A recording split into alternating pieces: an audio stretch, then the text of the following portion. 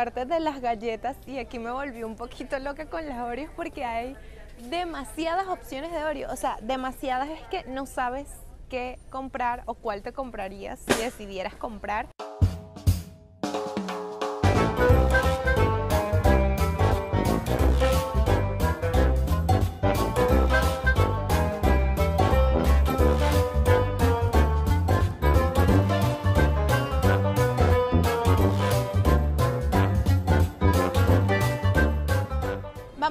Por el supermercado más popular de todos y es Walmart. Y es el más popular porque Walmart es el que tiene los precios más bajos. Entonces apenas tú entras tienes aquí a mano derecha todo lo que son frutas y verduras. Estamos ahorita en el área de las manzanas. Por ejemplo, una libra de estas manzanas cuesta 1,37. Si nos vamos a las verdes, estas cuestan 1,27 la libra. Entonces este supermercado siempre está muy full porque tiene precios muy económicos tiene precios muy accesibles y hoy lo que vamos a estar haciendo en este video es comparar estos supermercados que yo elegí para ustedes, para que los conozcan en el canal y vamos a determinar cuál es el más económico, cuáles son las características de cada uno. Aquí en Walmart también venden cositas empacadas, entonces miren por ejemplo estos ponquecitos a un dólar cada uno porque vienen cuatro, entonces cuestan 3.98. Todos los precios hay que sumarles el tag que es aproximadamente 7% del precio que está marcado en las etiquetas. El tax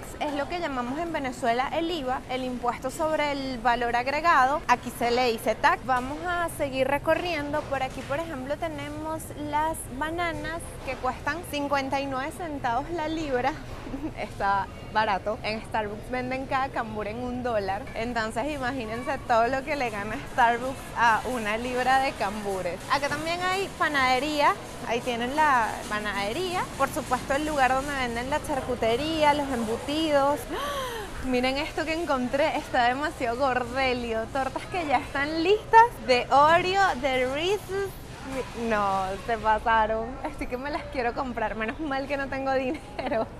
Por supuesto que entiendo que lo hice desde un radicalismo asqueroso del cual yo me arrepiento. Y es algo así como cuando tú piensas en un ex y tú dices, ay, ¿cómo yo pude haber estado con él? Qué asco. Bueno, yo me siento igual. Es como, ay, pero ¿cómo es posible que yo haya escrito esas cosas? Qué loca, que estaba pasando por mi mente? Bueno, yo creo que lo que estaba pasando por mi mente es que yo me sentía muy alineada con esos ideales de ayudar al más pobre, de favorecerlo con misiones, de inclusión social. Pero llegó un momento en el que yo empecé a analizar, empecé a crecer y me di cuenta de que los valores que me habían inculcado en mi casa no estaban alineados con eso que me estaban diciendo y que muchas cosas de las que me estaban diciendo eran mentira. ¿Y por qué me di cuenta de que eran mentira? Bueno, porque nunca he dejado de estudiar y por supuesto cuando tú adquieres esos conocimientos y cuando tú adquieres experiencia, formas tu propio criterio. Criterio que también he formado debido a que he tenido la posibilidad en mi vida de viajar.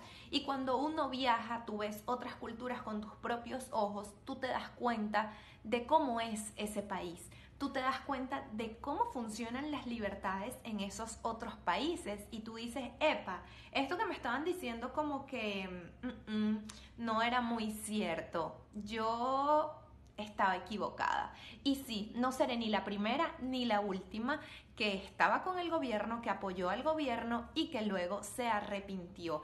Y lo importante es que hay que reconocer el error. Yo estoy aquí conversando con ustedes, asumiéndolo, errores de humanos y rectificar es de sabios. Eso no me hace una mala persona, simplemente era una joven expresando unos ideales.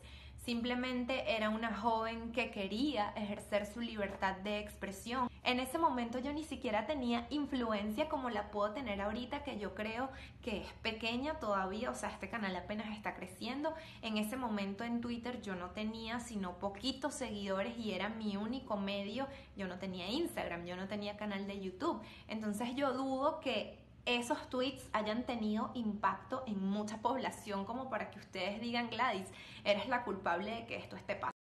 Mira, recoñue tu madre, re maldito, Maduro, tenés al pueblo pasando hambre, maldito. Recoñue tu maldita sea, no jodas.